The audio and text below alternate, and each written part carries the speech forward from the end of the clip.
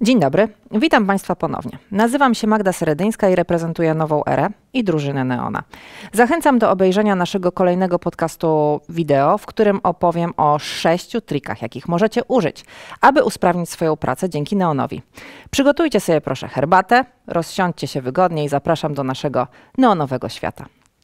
Dla tych z Państwa, którzy nie widzieli poprzedniego odcinka, przypomnę, czym w ogóle jest Neon. Neon to platforma, w której znajdą Państwo interaktywne podręczniki i zaszyte ćwiczeń, a w nich interaktywne materiały na każdą lekcję. Wow, na każdą lekcję. To brzmi naprawdę imponująco. Ja bardzo lubię cytat z jednego z nauczycieli, z którym kiedyś rozmawiałam. Pani Marysiu, mam nadzieję, że Pani teraz nas ogląda, bo powiedziała Pani coś, co zostało mi w głowie na długo, a mianowicie, że neon to lekcje bez cienia nudy. I faktycznie tak jest. Mówię to nie tylko jako była nauczycielka, ale również mama, której dzieci korzystają z Neona. Przypomnę również, że od września uruchomiliśmy dla Państwa dostęp indywidualny do Neona. Dzięki temu dużo łatwiej i szybciej będą mogli Państwo skorzystać z tej platformy. Po zalogowaniu do Neona, niezależnie od dostępu, widać serię podręczników w danej klasie. Klikając w wybraną serię, mamy dostęp do neonbooków podręczników i zeszytów ćwiczeń. Klikam w podręcznik języka angielskiego do klasy czwartej i teraz pierwszy trik to zakładka zasoby. Kiedy w nią kliknę, a znajduje się ona po lewej stronie, z łatwością zobaczę, jakie typy treści znajdę w tej serii. I dzięki temu mogę dopasować interesujący mnie typ ćwiczenia do lekcji, którą będę prowadzić. To bardzo duże ułatwienie, bo dzięki temu można łatwo przejrzeć, co czeka nas na lekcji i jak możemy ją urozmaicić. Jednak możliwości notebooków są o wiele większe. Trik numer dwa. Łatwość wyboru ciekawych interaktywnych ćwiczeń dzięki ikonkom. Kiedy otworzymy Neonbooka, zobaczymy ikonki, które przedstawiają różne typy ćwiczeń i treści interaktywnych. Oczywiście, w zależności od przedmiotu i serii będą się one różnić, ale znajdziemy tu nagrania wideo, nagrania audio, gry, ćwiczenia interaktywne, materiały prezentacyjne i linki. Jest w czym wybierać.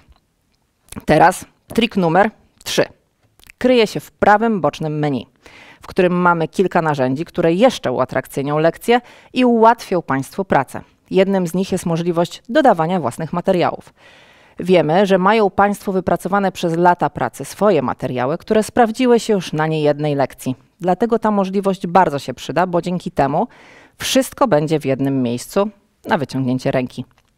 Wystarczy kliknąć na ikonkę spinacza, Możemy dodać dzięki temu link z wcześniej przygotowanym materiałem i opisać go tak, by było jasne, co się za nim kryje. Możemy też dodać notatkę i napisać coś, co nie powinno nam umknąć.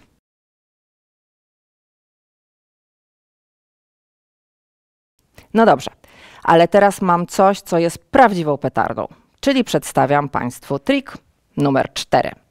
Coś, co jest niby niewielką rzeczą, a nauczyciele to uwielbiają i praktycznie wszyscy, z którymi rozmawiam, zawsze zwracają na to uwagę. Spójrzmy proszę na przycisk na górze z napisem Powiązane publikacje. Czy wiecie, do czego służy ten przycisk? Otóż to turbo ułatwiacz, ponieważ ten przycisk przekierowuje nas do powiązanych treści, w tym przypadku w zeszycie ćwiczeń. Nie trzeba szukać, kartkować, tracić czasu. Klikamy i już. Napiszcie proszę na czacie, czy z tego korzystaliście, a jeśli nie, to co o tym rozwiązaniu sądzicie? Według mnie bardzo przydatna opcja. Mówiąc o neonie, nie mogę pominąć części, która może stanowić wielkie wsparcie w e, rzeczywistości bez prac domowych. Nie wyobrażam sobie mojej pracy bez regularnych rozmów z Państwem i wiem, że zmiana rzeczywistości związanej z zadawaniem pracy domowej bywa kłopotliwa. Naszym rozwiązaniem, które ma zachęcić uczniów do pracy również poza szkołą, jest strefa ćwiczeń, czyli trik numer 5. Kiedy wejdziemy w serię, widzimy po prawej stronie przycisk Zadaj ćwiczenia. Ja to pokazuję na przykładzie serii do języka angielskiego, ale oczywiście tyczy się to wszystkich innych serii. Chodzi mi o pokazanie mechanizmu.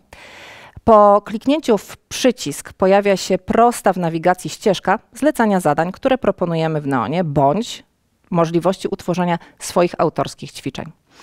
Strefa ćwiczeń to nie tylko świetne narzędzie do sprawdzania wiedzy i na przykład powtórek przed sprawdzianem, ale też uwielbiany przez uczniów mechanizm gamifikacji, bo za wykonane zadania dostają punkty i puchary.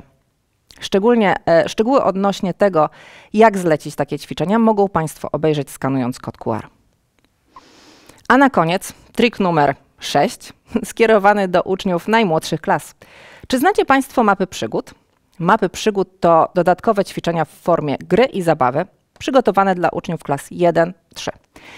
Do języka polskiego, matematyki i języka angielskiego. Ćwiczenia są zróżnicowane pod kątem trudności, stanowią dopełnienie materiału z lekcji i pozwalają uczniom na samodzielną powtórkę w bezpiecznej przestrzeni bez reklam.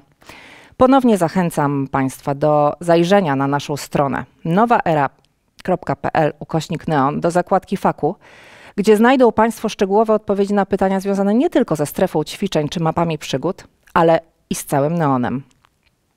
To już wszystko w tym odcinku. Już dziś wejdźcie na neon.nowaera.pl i nie przegapcie nowego i szybkiego dostępu indywidualnego do Neona. Koniecznie napiszcie w komentarzu, który trik wydaje Wam się najciekawszy i może macie jakieś swoje. Do zobaczenia wkrótce.